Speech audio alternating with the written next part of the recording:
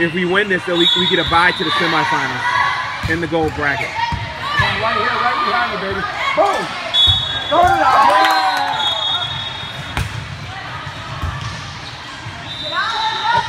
it out, baby.